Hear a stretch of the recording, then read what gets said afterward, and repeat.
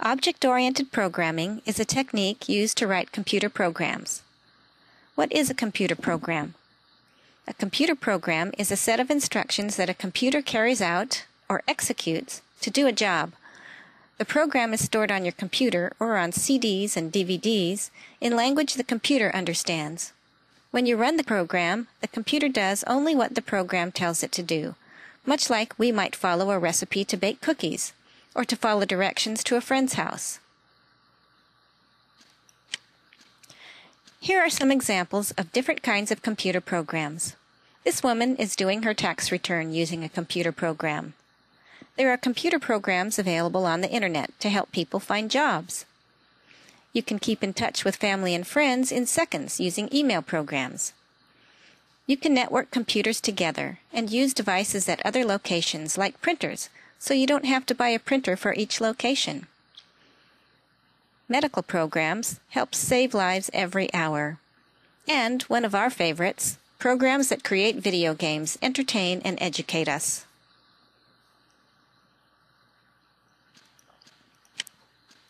Here's an example of a recipe a baker would follow to bake cookies.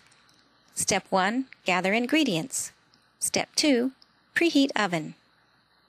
Step 3. Beat eggs and butter. Step 4. Add flour and sugar. Step 5. Mix. And step 6. Bake for 10 minutes. This is a perfectly good example of a procedural program. A procedural program is just a list of actions or instructions for the computer. Object-oriented programming uses objects to organize properties, the ingredients or data, and methods, the instructions or actions, into one unit. What does this mean? Let's use a baker as an example. First, we'll create a model of the baker showing items the baker has and the actions we would like the baker to perform. The baker model is a self-sufficient unit containing all the information a baker needs to do his job. In other words, the baker has all the tools and ingredients, called properties, and also has actions, called methods, that he can perform. Our Baker model would also show the steps for each action below the name of each method. Since we don't have room here, we'll show you all the instructions for just the bake cookies method.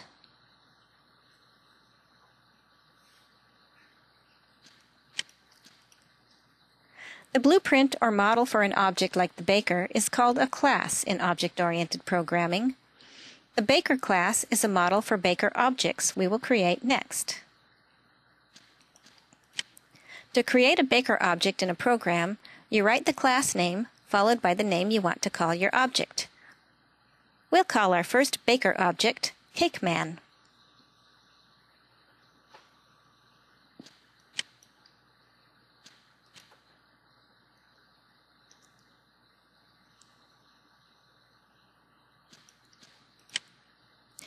This is the object CakeMan of the Baker class. To get CakeMan to perform actions, we call a method by writing the instructions shown below Cake CakeMan.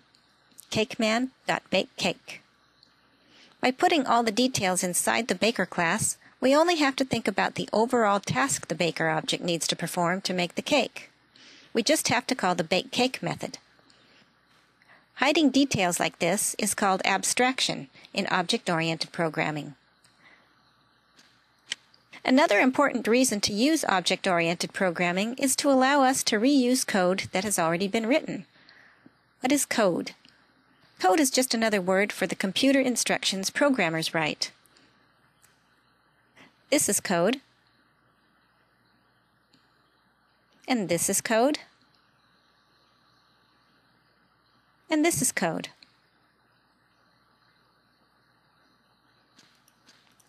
So, how do we reuse code? Suppose there's going to be a party and you need a couple of bakers to make pies and cakes.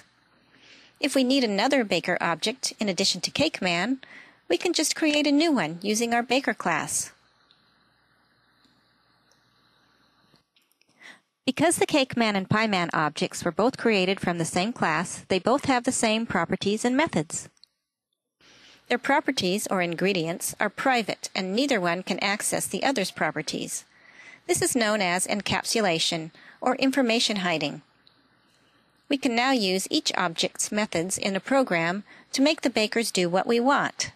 For example, we can call the methods cakeman.bakecake and pieman.bakepie. Can we call these methods cakeman.bakecookies and cakeman.bakepie? You decide, and we'll show you the answer in a few seconds.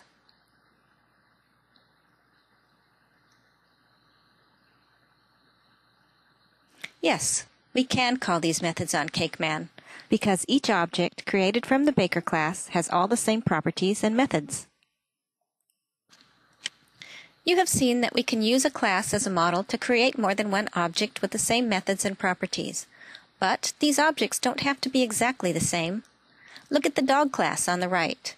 In object-oriented programming, class dog is called the class declaration. We are declaring a new class called dog. Notice the parentheses after the class declaration. The terms inside the parentheses, what breed, what size, and what color, are called parameters.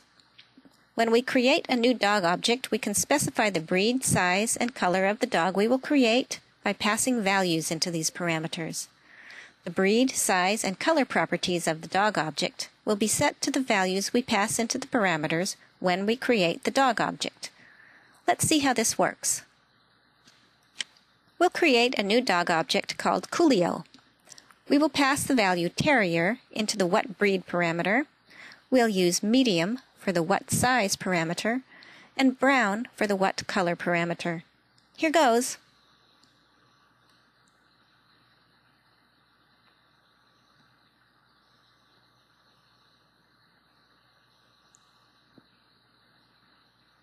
Let's call the coolio.bark method. Coolio, bark. Now let's try different values for our parameters.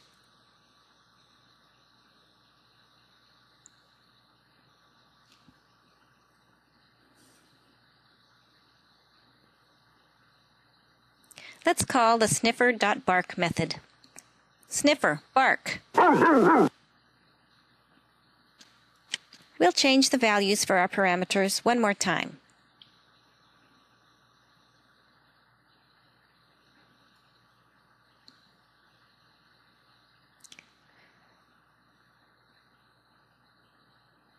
Let's call the Fifi.bark method. Fifi, bark.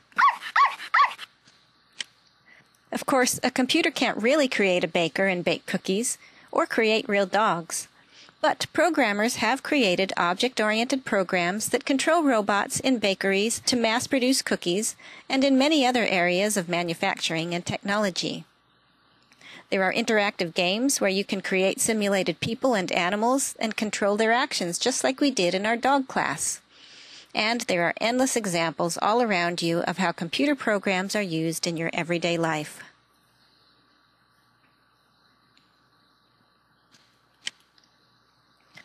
Visit our website, www.highschoolelearning.com, for free interactive lessons and to find out about our fun online courses.